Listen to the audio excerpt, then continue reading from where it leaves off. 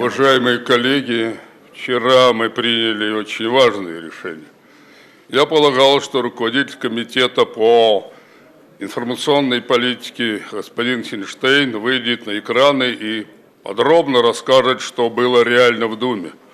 Хотя он выступал на всех каналах, но он увлекся политесом вместо того, чтобы выполнять функции как руководителя канала. Он даже не сказал, что КПРФ голосовала против обнуления, что мы голосовали за ту таблицу, в которой есть 22 наши поправки, что мы категорически против остановки ремонта Конституции, что мы настаиваем на 15 поправках и для этого внесли закон о Конституционном собрании. Вместо этого он говорит, КПРФ боится выборов. Мы не боимся выборов, мы лучше других готовы. Мы в этом году будем участвовать. Но речь шла вчера не о выборах. Слава Богу, приехал президент, почувствовал обстановку и внес свою ясность, что имеет принципиальное значение. Вчера, господин Хинштейн, шла речь не о выборах, а о российском Майдане. Почему?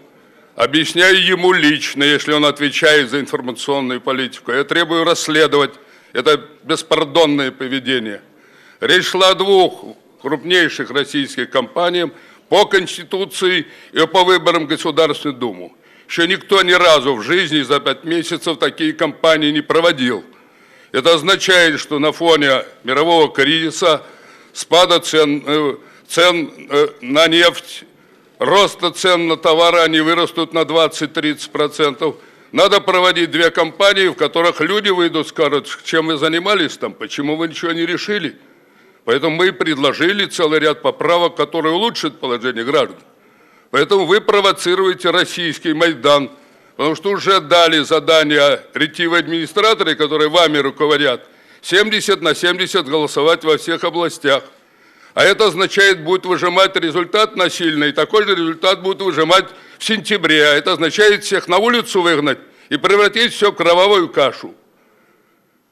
Президент понял вчера это, лучше других. Он силовыми ведомствами руководит, а вы вместе там занимаетесь гвардейцами.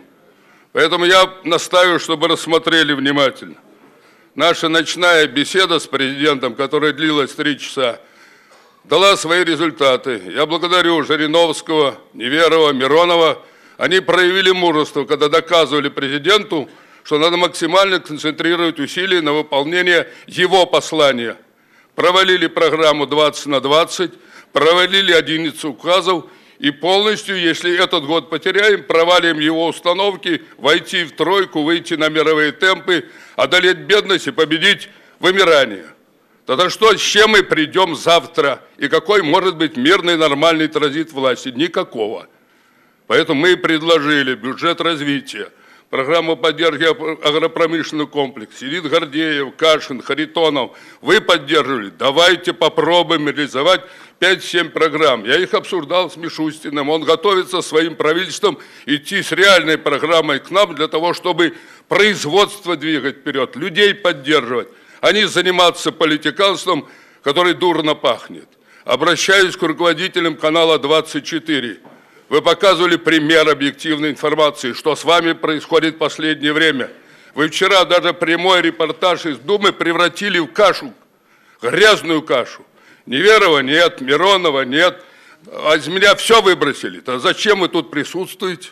И в чем смысл информационной политики? Сейчас вы не перекроете, что бы вы ни делали, есть сети, есть возможность нам выступить по любым каналам.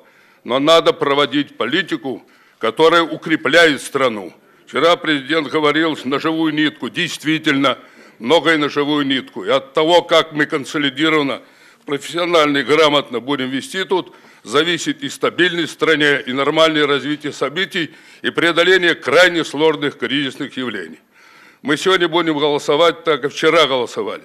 Наша позиция выстроена, мы в Орле проводим в субботу крупный международный форум по экономической стратегии. Приглашаю вас принять участие. Я думаю, и вам будет интересно. А средства массовой информации настаивают отражать события, как есть на самом деле. Или вы нас вернете снова в 90-е.